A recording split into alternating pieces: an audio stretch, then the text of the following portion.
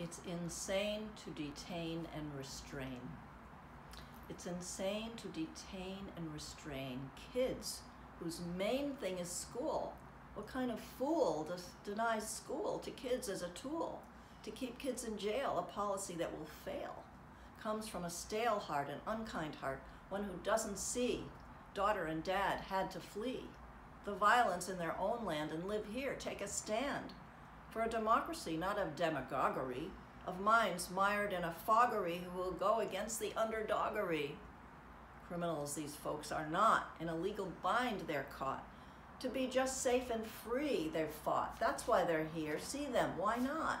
See why they're here, escaping fear. And now what's here? Your chains and gear, your rough and tough agents from nasty ice who spoil folks' lives. These guys aren't nice. What folks escaped is now too near. If you deport them, their lives cost dear. We will hold you accountable for lives cut short, made perishable. You care not for the human fold, just following orders like Nazis of old, ignoring morals, kindness, heart. A nightmare here is what you start. Parents and kids you dare to part, taking mothers of young ones away despite the screams and cries all day of motherless children and fatherless sons. You put them back like under the guns.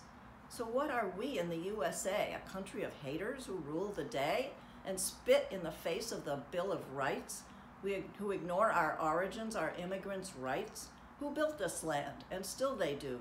They work, pay taxes, and farm for you. You want to have an empty land, a land where no one takes a stand?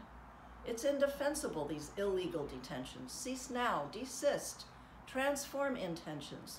To wait until the final decision before creating this nasty collision, let them be, give sanctuary, let them be, let them be.